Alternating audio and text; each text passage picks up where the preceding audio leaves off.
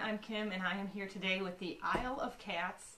Don't forget the Kittens Kickstarter. This is the big box and I pretty much backed all in for this. Uh, so I already had the original Isle of Cats from their first Kickstarter which had the Kickstarter exclusives. So inside of this box I should have the Kittens pack, the Beasts pack, and the Boats pack as well as the big box. And to just give you guys an idea of exactly how big this is, I grabbed Wingspan. Is a pretty uh, common game at this point. Most people know the box size. So as you can see, um, it's a little bit taller than two wingspans. So this is indeed a very big box. We have the front, side art, back art. Flip through all the sides here. Boy is heavy. Okay, so let's start opening it. I was expecting to get in like three separate boxes, one for beasts, one for kittens, one for boats, unless all those boxes are inside here. So I'm not entirely sure if they just took the content out of the boxes or if I'm going to find boxes inside of this box.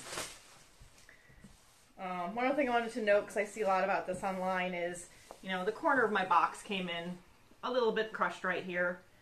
And a lot of people complain online and say, well, I paid so much money for this. But honestly, it's a box. It still holds it. It's to me not worth, you know, trying to bother the manufacturer to get you an absolutely perfect box. Shipping mistakes happen. It's just a little ding. So I am perfectly okay with that little ding. Okay, let me lean this up as we open it. It's heavy boy. Okay. Oh, so I do have the actual other boxes inside of my box. So on top is, I'm assuming this is the Kickstarter exclusives for this one. I have got the geez, Kitten and Beasts box, the boat pack, and now replacement card, so apparently something was shipped wrong in the box originally. And then down here in the bottom, I have the, oh, the wooden insert. This is my first ever wooden insert. Oh, in here again, on the inside of the box, I don't know if I can get that on the camera, there is some, you know, like damage to the wall from where the wooden insert scraped it. Again, I don't mm -hmm. consider this to be something to write back to the manufacturer and complain about. You know, it's just a little nick. It's going to hold my game fine. It's going to do its job. This is a beautifully heavy, thick box. The lid still has the Resoquit target to place your cat in the lid. We've got a nice picture of how this box insert goes together. I may try to build this on a separate video. We'll see how ambitious I am feeling. Um, there's the wooden pieces. There's even a cool cat head that's going to be the edge on one of the box panels. Okay, and so then I like that there's minimal plastic on this. There was just plastic on the outside. These are inside with no plastic. So let's open up the boat pack first. Okay, we have more little boat cards. I love that they added these to the game. This was uh, one of my friend's biggest complaints is that she could never tell the boat rooms and that has a nice little guide there. And the rest of this box literally just contains the boats. So let's take a look at one. So looks like we've got family and yeah, we've got family and standard mode on each side. So that's nice. I was wondering if there would be a family side boat with the same scoring differences and everything to play with the new boats on family mode or regular mode. Upside down, another boat.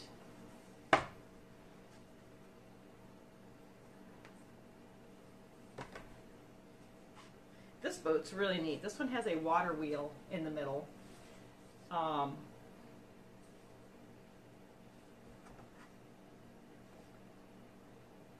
oh, interesting. These are not the same on both sides. So this boat has a water wheel on this side for the family mode. And on this side, it has a different boat shape. So not all of them. Okay, and then, okay, so there's two the family mode and the advanced mode are on two different boards there, and then two matching boards here. So we do have all the different shapes in both family and advanced. They just weren't on back to back on the boards, which kind of surprises me. But here we go with that. So that is the new boats. I am really excited to give these a try. Um, since I have definitely fallen into the habit of I start my boat in the same exact place every single time, and I fill in the same exact direction every single time. So this is going to really switch things up for me and force me to go with a different strategy. Okay, next up, Kittens and Beasts.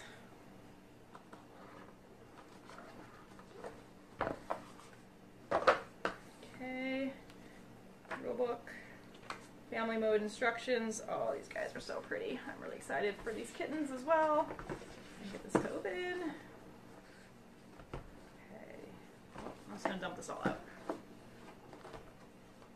Okay. Oh, we have new bags. Okay, I didn't realize that. Just three. Uh, not entirely sure what goes in these bags yet. One's probably kittens, one's probably beasts. I don't know what the third bag would be for. We've got some new plastic baggies to organize. We have new lesson pads, which has beasts added onto it, so a new scoring line on the lesson pad. We have the regular baggie of beasts that would come in the normal edition, and then of course the very first thing on top of my box was the screen printed beast meeples, which come with the Kickstarter edition. We have got, let's see, I haven't read the rules for all these expansions yet, but I can at least show this panel, which is the new really pretty beasts. See that there. They are super pretty. Uh, I got some more beasts on this board, and then I think these numbers are for the new, um, they're goal cards at each round. You set a goal out that affects everyone. Um, there's the board to place baby cats for standard mode, and then family mode on the back. More scoring tiles. I don't know what these purple baskets are for, and they have a four boots on back, so that's going to be something I'm going to have to read the rules on.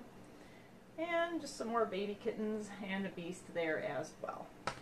So that is everything that was inside of the box. Um, the only other thing in the bonus pack for Kickstarter is some additional cat tiles. And then see screen printed meeples. Let's pull one out and look at them really quick. So we've got I don't even know what these are. Mm-hmm. I probably cannot see my camera really well, so this is probably not very beneficial. But okay, that was everything in the Isle of Cats full Kickstarter all in, except for the draw, roll and write, draw and write game, since I don't plan to play that one. Okay, I now have everything put together and loaded into my big box for the Isle of Cats. Um, this now is so freaking heavy, it's going to sit on the very bottom of my shelf because I don't want to even risk putting this onto a shelf. So the rule books um, fit right on top. When you open it up, you see we've got, oh God, I can't lift it. Ugh. We've got the um, bag of all the cats here. So just take that off the top. On the sides here, we have two boxes that hold the deck cards. Now, my deck is unsleeved. So if you have a sleeved deck, the assumption would be that both of these boxes will be needed to hold your deck. If your deck, if your game is unsleeved like mine is, you're going to find that you only need one of these boxes and you still have a lot of space. So for those of you that purchased additional big cat meeples, um, you can use this extra empty box to just store extra meeples in here. Uh, this box was the nightmare to build. Um, get all these little cat heads aligned and pushed into these holes to put this together. This holds each of your expansions in a the, the lettered expansion separately. Get this on camera here. Here we go. The lettered expansions are all separate here. Um, for those of you that have missed this in the rules, you're always supposed to have three of these packs mixed into your game at one time. So right now, A, B, and C are mixed into my game. The rest are in here, and if I wanted to swap them, I would just pull A, B, C out and pick a different three packs to mix in. Um, five to six are the cards for five to six player games. One are the solo cards, and eight plus are the family cards. And then this, And then these cards here didn't have a spot. These are the cards for people that are um, colorblind. So, but there is a little gap here in the front of the box that's unlabeled. So I just dropped mine into that gap there. And everything fits nicely. Again, this is designed to hold sleeved cards. So I do have a lot of extra space along the top of this. And my cards fit very loosely in here due to the lack of sleeves. It almost makes me want to sleeve the cards just to make sure that they sit tighter and tighter and don't kind of flop around, but we'll see. Um, this little box right here sits right on top of this corner, and this is to hold the boat, the pencil, and I have some miscellaneous cat meeples that didn't fit other places. You've got your fish holder and your baskets. I have both the cardboard and the wooden fish meeples mixed into here. This corner box pulls out, I'll show you that in a second. We have got the cat meeples. Now, because I have the big size cat meeples, not all of these fit perfectly into here.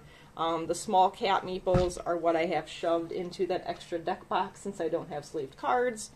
And even some of these don't fit directly in, which is why I had these here, because it's intended to have six of these, plus one is a player marker. So I've just kind of shoved things into extra places.